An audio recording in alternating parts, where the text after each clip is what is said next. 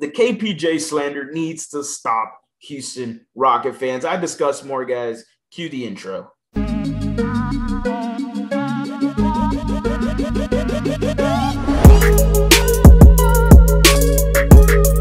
What is going on, everybody? Welcome back to a brand new episode of The Lead. Your host, as always, Harley Dugan. The first thing I need to come off is the KPJ slander. I've seen a lot of it on Twitter. I've seen people as far as saying he's not even going to be in the league in the next few years, and he needs to stop.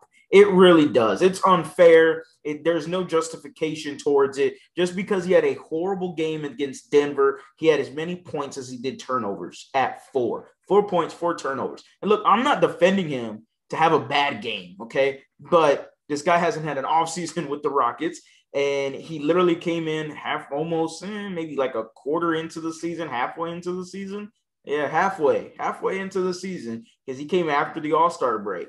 And then uh let's see what else? He's learning a whole new system. He's learning a whole new position. What do you want him to do?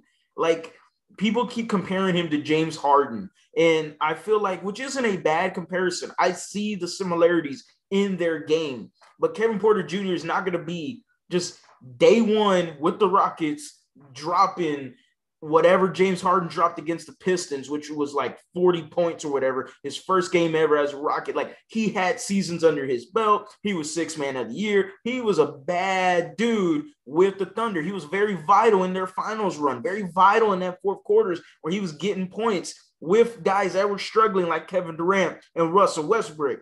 Kevin Porter Jr. has yet to prove anything whatsoever.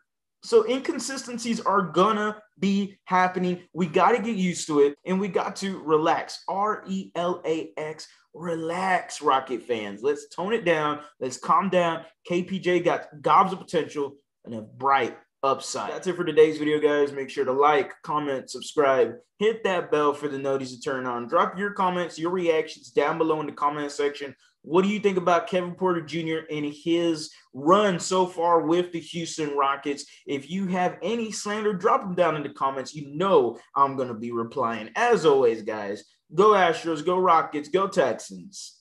Yeah, have a blessed day. R E L A X. Relax. We're going to be okay.